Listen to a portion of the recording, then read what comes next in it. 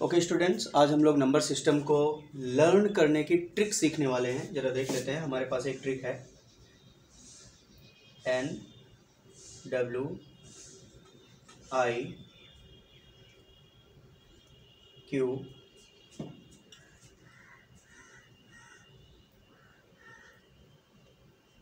R C चलिए start करते हैं।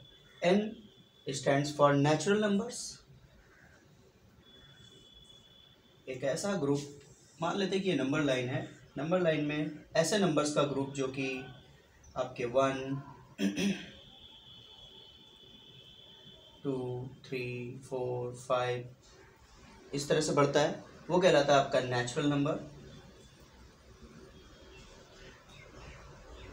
then whole number whole number also includes zero फिर ये कहीं तक भी जा सकता है। इसको कुछ ऐसे रिप्रेजेंट कर लेते हैं। होल नंबर आ गया। होल नंबर में आपका ज़ीरो भी इंक्लूड हो जाता है, यानी नेचुरल नंबर के साथ साथ आप ज़ीरो ऐड करते हैं तो आपका होल नंबर बन जाता है। Whole number there after integer integers क्या होते हैं? Integer positive digits zero including negative digits minus one minus two minus three minus four minus five कहीं तक भी, जहाँ तक भी ये जा सकता है, ये आपके। तो पॉजिटिव और नेगेटिव इंक्लूडिंग ज़ीरो आपके कहलाते हैं इंटीजर्स जिसको हम रिप्रेजेंट करते हैं जेड से ओके चलिए, देख लेते हैं। इसको कुछ ऐसे रिप्रेजेंट कर लेते हैं। नंबर लाइन में कोई भी नंबर आपका इंटीजर कहलाएगा। बट एक चीज़ ध्यान रखनी है हमको कि ये अक्सर कर होल नंबर जैसे ही आते हैं। जैसे कि माइनस फाइव या minus four minus three minus two minus one zero one two three four five न कि five point one five point two क्योंकि वो फिर इरेशनल नंबर हो जाते हैं। तो आप देख सकते हैं कि ये जंप करके हम इसको अंडरस्टूड कर सकते हैं। हर एक नंबर में जंप करके। बीच के गैप में हमें इंटीजर नहीं होना चाहिए। इसको हम जेड से रिप्रेजेंट करते हैं। ठीक है? चलिए अगली डिजिट है आपकी आ, अगला जो ग्रुप है वो है आपका रेशनल नंबर जरा देख लेते हैं।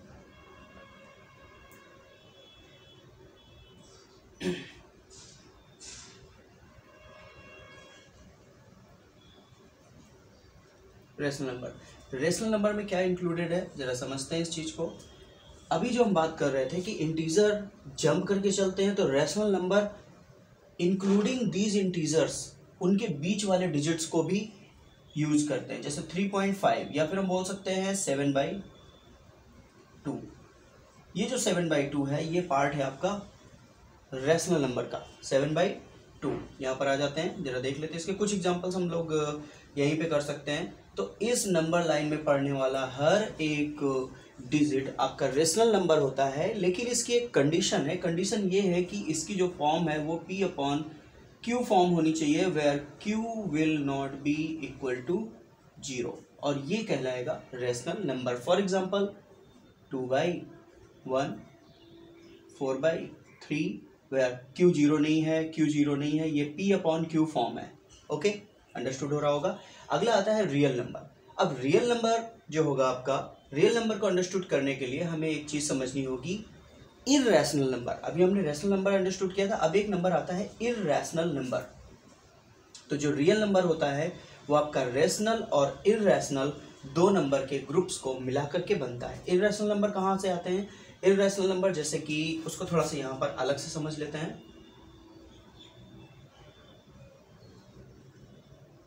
इरेशनल नंबर इरेशनल नंबर जो होते हैं, जैसे root two root three root five root seven twenty two by seven these are the irrational number non terminating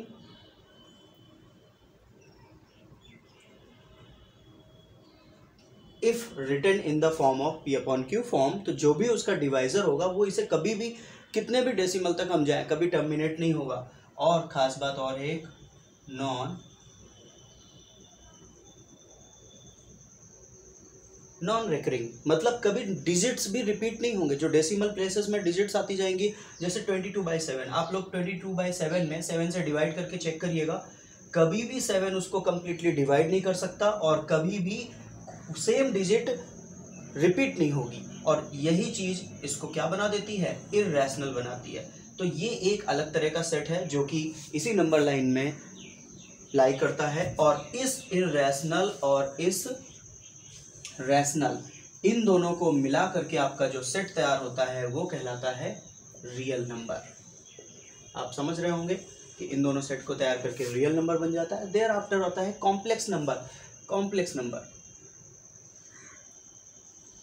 ये है आपका रियल नंबर देन है आपका कॉम्प्लेक्स नंबर कॉम्प्लेक्स नंबर नाम से ही क्लियर है कि एक कॉम्प्लेक्स नंबर यानी जटिल संख्या कोई। तो कॉम्प्लेक्स नंबर बेसिकली किसी भी नंबर लाइन में अगर हम नंबर लाइन को पॉजिटिव डिजिट्स के लिए काउंट कर रहे होते हैं तो उसी समय एक और इमेजिनरी यानी नेगेटिव टाइप के जो एक और दूसरे डिमेंशन में जो हम एक नंबर लाइन काउंट कर रहे होते हैं अगर हम उन दोनों को मिला रहे हैं, यानी real number plus imaginary number line इन दोनों को मिला करके बनता है आपका कॉम्प्लेक्स नंबर हालाँकि कॉम्प्लेक्स नंबर की स्टडी हमारे लिए अभी रिक्वायर्ड नहीं है हायर क्लासेस के लिए ज़रूरी है ये। तो अभी हम इसको समझ लेते हैं। तो इसको याद रखने का हमारे पास एक ट्रिक है, नाविक रेस। नाविक रेस। नाविक